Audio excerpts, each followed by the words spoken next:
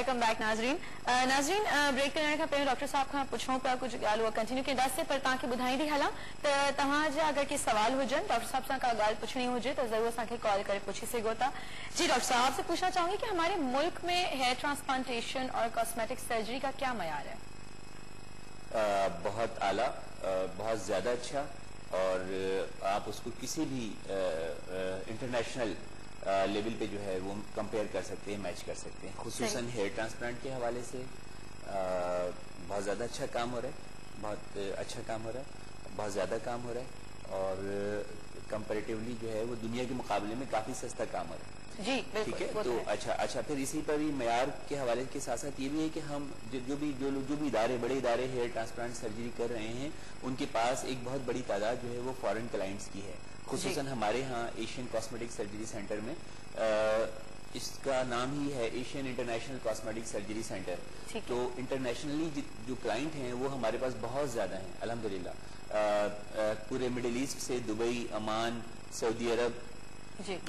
بنگلہ دیش بنگلہ دیش اچھا میں ایک اور بات بتاؤں کہ بنگلہ دیش بہت ساری چیزوں میں سنا ہے کہ ہم سے آگے ہے۔ شاید وہ جو کاٹن انڈسٹری ہے جو کپڑے کی جو صنعت ہے یا جو پنکھا سازی وغیرہ کی صنعت ہے، بنگلہ دیش جو ہے تو وہ ہم سے آگے نکل گیا ہے۔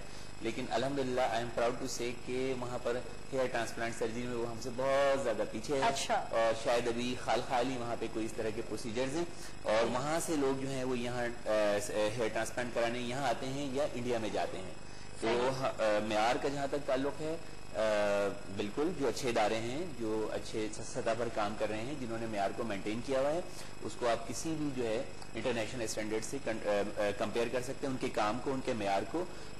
اس کے ساتھ ساتھ میں اپنے ادارے کے حوالے سے بھی تھوڑا سا بتا ہی دوں، جب بات معیار کی آ گئی ہے، تو ابھی جو پچھلے مہینے انٹرنیشنل اسٹینڈرڈ کوالٹی ڈے منایا گیا تھا پوری دنیا میں۔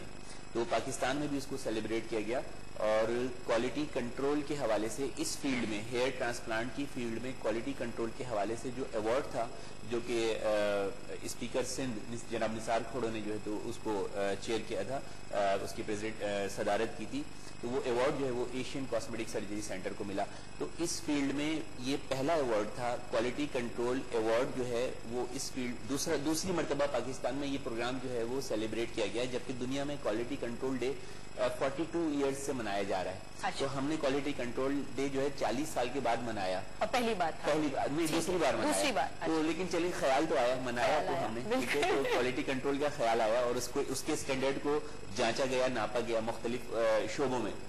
تو جو ہیئر ٹرانسپلانٹ اور یہ جو کاسمیٹک سرجری کی جو فیلڈ ہے اس میں جو انہوں نے سلیکٹ کیا اور نامینیٹ کیا اور جو ایوارڈ دیا جی۔ وہ ایشین کاسمیٹک سرجری سینٹر کو ملا۔ تو پہلا پاکستان میں پہلا کوالٹی کنٹرول ایوارڈ جو اس طرح کی فیلڈ میں دیا گیا وہ بھی ہمارے حصے میں آیا الحمدللہ۔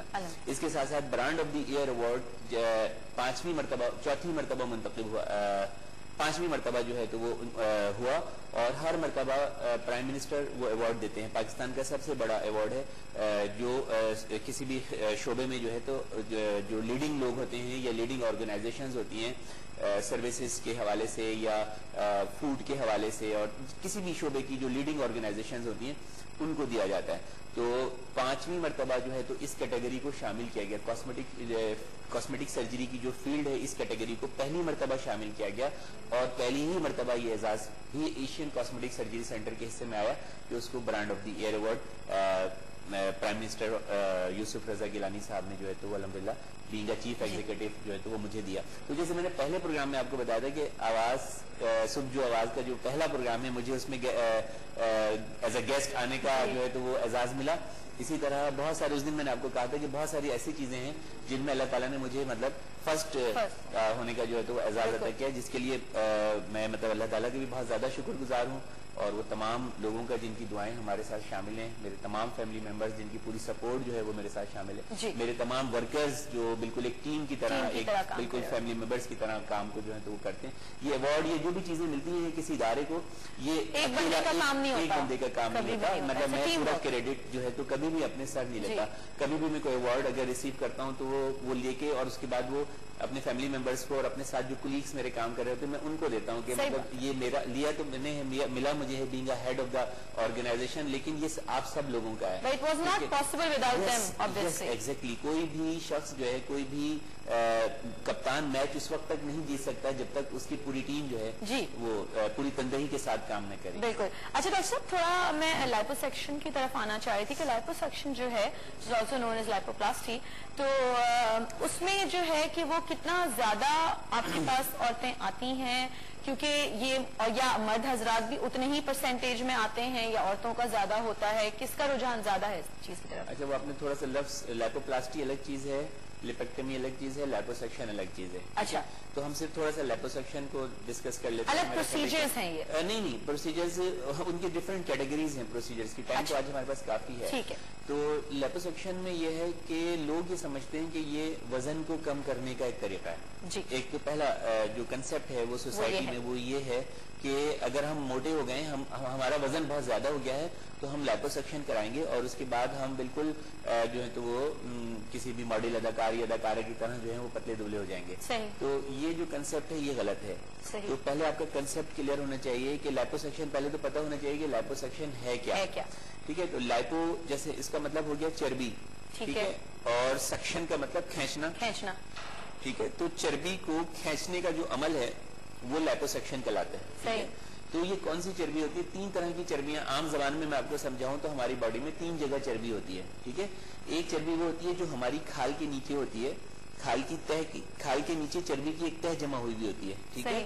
ایک چربی وہ ہوتی ہے جو ہماری آنت اور جڑیوں کے گرد اندر پیٹ کے اندر انٹر ایبڈومینل جس کو ہم کہتے ہیں آنت اور جڑیوں کے گرد اور گردوں کے گرد جو ہوتے ہیں وہ لپٹی بھی ہوتی ہے ٹھیک ہے؟ ایک چربی وہ ہوتی ہے جو ہمارے خون میں گردش کر رہی ہوتی ہے ٹھیک ہے؟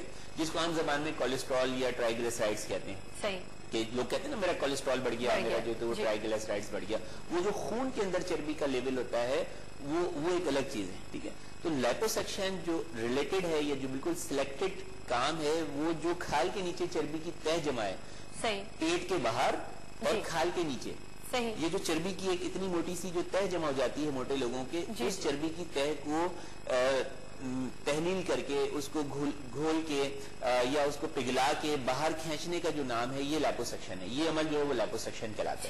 ٹھیک ہے۔ یہ کچھ مشینیں ہوتی ہیں بہت ہی ماڈیفائڈ قسم کی ہائی ٹیکنالوجی پر مشتمل جو ہے تو وہ اکوپمنٹس ہوتے ہیں۔ جی۔ ان کے ذریعے یہ پروسیجر پرفارم کیا جاتا ہے ٹھیک ہے؟ اس میں کوئی بہت زیادہ سرجیکل جو پروسیجرز ہیں وہ نہیں ہوتے۔ چھوٹے چھوٹے سے کچھ ہول کیے جاتے ہیں۔ اچھا ان ہولز کا جو ڈائمیٹر ہوتا ہے وہ three two five millimetre ہوتا ہے۔ Three two five millimetre اگر ہم اس کو لیتے ہیں تو یہ والا جو حصہ ہے اگر اس کو بلوک صاحب دکھا سکیں۔ کیمرے میں تو یہ جو پین ایک کام ہمارا ہوتا ہے اس کا یہ جو ڈائی میٹر ہے یہ تقریباً پانچ ملی میٹر کے لگ بھگ ہوگا۔ پانچ سے یہاں کا جو ڈائی میٹر ہے فائیو ملی میٹر تو اتنی سی اتنی پتلی سی جو ہے وہ راڈ ہوتی ہے اتنا چھوٹا سا سوراخ بنایا جاتا ہے ایک اس جگہ سے میں یہاں اور ناف کے اندر۔ ناف کے اندر سے ایک سوراخ بنا لیتے تاکہ وہ چھپ جائے نظر نہ آئے۔ وہ نشان جو ہے تو باڈی پر آپ کی نظر نہ آئے۔ تو ایسی جگہ پہ وہ نشان بنائے جاتے ہیں کہ عام طور پہ وہ نظر نہ آئے۔ تو ان سوراخوں کے ذریعے ایک ٹیوب ہوتی ہے ڈبل ٹیوب ہوتی ہے۔ ایک یہ جیسے یہ ٹیوب ہے اور ایک یہ اس کے اندر ٹیوب ہوتی ہے۔ جی۔ یہ پین بھی اس طرح ہے کہ لگ رہا ہے کہ پورا اسی اسی کو ایکسپلین کرنے کے لیے بنایا گیا تو یہ جو اندر والی جو ٹیوب ہوتی ہے اس کے پیچھے ایک مشین لگی ہوتی ہے جس میں سے خاص قسم کا فلوڈ جو ہے بہت پریشر سے نکل رہا ہوتا ہے۔ اچھا۔ اچھا خاصا پریشر ہوتا ہے اس کا۔ جیسے آپ نے دیکھا ہوگا گاڑی کی جو سروسز ہوتی ہیں جہاں پہ گاڑی دھلتی ہے وہ جو پانی مارتے ہیں تو کافی پریشر سے پانی نکل ہے تو جہاں کونے خدروں میں جو چیزیں جمی ہوئی ہوتی ہیں وہ پریشر جو ہے تو وہ ان کو وہاں سے اکھاڑ دیتا ہے یا ان کو گھول لیتا ہے اس مٹی کو یا زنگ کو جو ہے تو اپنے ساتھ شامل کر لیتا ہے۔ تو اسی طرح جب اس ٹپ سے بہت پریشر سے جو فلوڈ نکلتا ہے تو وہ فلوڈ جو ہے اس فیٹس کو اپنے ساتھ جو ہے تو میش کر لیتا ہے۔ اچھا۔ پانی کے بارے میں تو مشہور ہے نا کہ اگر وہ قطرہ قطرہ کسی پتھر پہ بھی گرتا رہے تو اس پتھر میں بھی سوراخ ہو جاتا ہے۔ جبکہ آپ دیکھتے ہیں کہ چربی جو ہے تو وہ اتنی ہارڈ نہیں ہوتی ہے بہت ہی اگر ہم اس کو ہاتھ سے بھی دباتے ہیں تو وہ مطلب یہ کہ دب جاتی ہے یا جی۔ پگھل جاتی ہے اگر ہم باہر نکالتے ہیں۔ اچھا پلس یہ جو باہر والی ٹیوب ہے اس کی ٹپ اس طرح ڈیزائن کی جاتی ہے کچھ تھوڑی سی اس طرح ڈیزائن کی جاتی ہے۔ تو یہ جو فلوٹ جب اس ٹپ سے ٹکراتا ہے تو وہ بالکل سیدھا نہیں جاتا بلکہ وہ ایسے پنکھے کی طرح جو ہے تو وہ گھومتا ہوا جاتا ہے۔ اچھا۔ تو وہ جسٹ لائک اے بلیڈ کام کرتا ہے ایک طرح سے۔ اس چربی کی لیئر کو بریک کرنے کے لیے بلیڈ کا کام کرتا ہے۔ اچھا ٹھیک ہے؟ یہ ٹیوب یہاں پہ رکھ کے اور جب وہ پریشر دیتے ہیں مشین کو آن کرتے ہیں تو فلوٹ جو ہے وہ ایبڈومن میں جاتا ہے پریشر کے ساتھ اور پنکھے کی طرح گھومتا ہے اور وہ چربی جو بھی اس کھائی کے نیچے چربی کی جو بھی تہ جمع ہے اس چربی کی تہ کو اپنے ساتھ حل کر لیتا ہے محلول بنا دیتا ہے اس کا ٹھیک ہے؟ ساتھ ہی اس یہ جو باہر والی ٹیوب ہوتی ہے اس کے اندر چھوٹے چھوٹے سے سوراخ ہوتے ہیں۔ اتنے بڑے بڑے چھوٹے چھوٹے سے اس ٹیوب میں مختلف جگہوں پہ سوراخ ہوتے ہیں۔ جی۔ اور اس کے کا کنیکشن جو ہوتا ہے وہ ایک سکشن ویکیوم سکشن کے ساتھ ہو رہا ہوتا ہے ٹھیک ہے؟ تو یہاں سے فلوڈ نکل رہا ہے۔ یہ فلوڈ جو ہے وہ چربی کی لیئر کو میش کر رہا ہے۔ اور اس کے ساتھ ساتھ یہ ان سوراخوں کے ذریعے وہ ایک سیکشن ویکیوم کے ذریعے وہ فلوٹ اور وہ چربی کی جو پگلی ہوئی لیئرز ہیں وہ سیکشن مشین کے ذریعے اس سیکشن پمپ میں آ کے اندر آ کے جمع ہو رہی ہوتی ہیں۔ تو یہ جو پروسیز ہے بڑا سمپل سا پروسیجر ہے لیکن دو گھنٹے میں ڈیڑھ گھنٹے میں مکمل ہوتا ہے۔ اور بہت ہی اچھا پروسیجر ہے۔ تو یہ یہ پروسیس جو ہے وہ لیٹو سیکشن کہلاتا ہے۔ اور یہ جو ٹیکنیک ہے جو میں نے آپ کو بتائی ہے جس میں فلوڈ نکلتا ہے اور وہ چربی کو میش کرتا ہے اور پھر جو ویکیوم مشین ہے اس کو جو ہے تو وہ سیک کرتی ہے۔ یہ واٹر اسسٹڈ لیبو سیکشن کہلاتا ہے۔ یہ باڈی جیٹ لیبو سیکشن کہلاتا ہے۔ صحیح۔ ٹھیک ہے۔ تو ڈاکٹر صاحب یہ جیسے میں پوچھ رہی تھی کہ کتنے پرسنٹیج ہے جو عورتوں کا جو کراتا ہے اور مردوں کا؟ اور جیسے آپ نے تو ابھی پیٹ کا ذکر کیا مگر بیسکلی یہ ڈیفرنٹ ایریاز سے فیٹ نکالا جی، جاتا ہے۔ آپ اس کو یہ بازو کے لیے بھی کرا سکتے ہیں۔ یہاں پہ جو فیٹس جن کے جمع ہو جاتا ہے حصے موٹے جاتے ہیں یہ کرا سکتے ہیں۔ یہاں پر ایک ایسے گول سا بنتا ہے بعض جو لوگ تھوڑے سے جن کا وزن بڑھ جاتا جی۔ ہے جس کو ہم لوگ بنانا انگلز کہتے ہیں۔ ٹھیک ہے۔ وہ لوگ کرا سکتے ہیں۔ جن کی ٹمی تھوڑی سی بڑھ جاتی ہے موٹی ہو جاتی ہے اور یہ ان کے لوگ ہنڈلز ختم ہو جاتے ہیں۔ یہاں پر یہ ہم سے باہر نکل آتا ہے گول ابڈومن تو جی۔ یہ کرا سکتے ہیں۔ بعض لوگوں کے آپ نے دیکھا ہوگا کہ یہ والی چیزیں جو ہیں وہ بڑی پرومیننٹ ہوتی ہیں۔ جی۔ رائڈنگ بریجز کہتے ہیں تو یہ لیپو سیکشن بہت اچھا جو ہے تو وہ کرا سکتے ہیں۔ بہت اچھے ریزلٹ جو ہیں تو ان کو ملتے ہیں۔ بعض لوگوں کی ٹانگوں کی بیچ والی جو جگہ ہوتی ہے اس میں کافی فیٹی لیئرز جو ہیں تو وہ جمع ہو جاتی اور جب وہ چلتے ہیں تو وہ ٹانگیں آپس میں ٹکرا کے ان کی اسکن کے اندر انفیکشنز اور لیسریشنز جو ہیں وہ کریئٹ ہوتے ہیں۔ تو وہ ان کو بہت اچھا لیپوسیکشن سے جو ہے تو ریزلٹ ملتا ہے۔ تھائز کو کر سکتے ہیں ہپس کو کر سکتے ہیں۔ سٹیپ بائی سٹیپ کئی پورشنز جو ہیں تو وہ لیپوسیکشن کے کیے جاتے ہیں۔ لیکن لیپوسیکشن پھر بتا رہا ہوں کہ اس سے جو ہے آپ کی شیپس آتی ہیں۔ آپ کی باڈی میں شیپس آتی ہیں جو ڈی شیپ ہو گئے ہیں، چربی کی وجہ سے جو پورشنز جو حصے آپ کے ڈی شیپ ہو گئے ہیں، ان کو ری شیپ کرنے کا جو پروسیجر ہے وہ لیپوسیکشن ہے۔ تو ڈاکٹر یہ نہیں ہوتا اس میں کہ آپ کا سرٹن ایک ویٹ لمٹ ہونی چاہیے کہ آپ کا اتنا اوبیس وزن ہو جائے گا یا اتنے کیلوز آپ کے زیادہ ہو جائیں گے آپ کے ہائٹ کے پروپورشن میں جو ایک ویٹ ہوتا ہے تو ہی ہم کریں گے یا کسی بھی چیز کے لیے کیوں ہوتا ہے خاتونوں کو تو پھر تھوڑا سا بھی بازو موٹے ہوئے تھے ہاں جی اس کا تو کروا دیں بہت موٹے آج لگتا ہے آپ باقاعدہ اسٹڈی کر کے آئے ہیں۔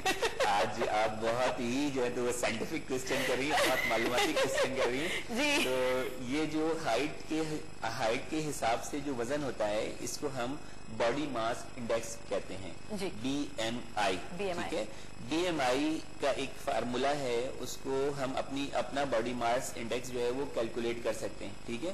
یعنی کہ ایک شخص کی ہائٹ جو ہے وہ اتنی ہے تو اس کا وزن اتنا ہونا چاہیے۔ تو جب اس کا ہم بی ایم آئی نکالتے ہیں تو وہ بی ایم آئی تیئیس نارمل ایک انسان کا بی ایم آئی جو ہے وہ ٹوئنٹی تھری ٹوئنٹی فور سے زیادہ نہیں ہونا چاہیے ٹھیک ہے۔